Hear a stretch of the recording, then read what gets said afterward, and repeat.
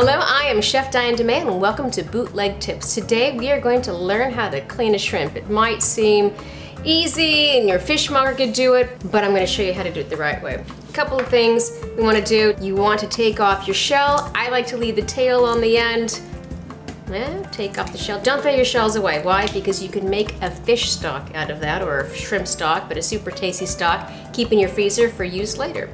You just take a knife, kind of shimmy down the back of that shrimp and you're gonna remove what we know as the intestine tract. Pull it out and that's basically it. If you want to be a stickler, there is a little bit of a vein in the front, but no one really cares about that one and I surely don't.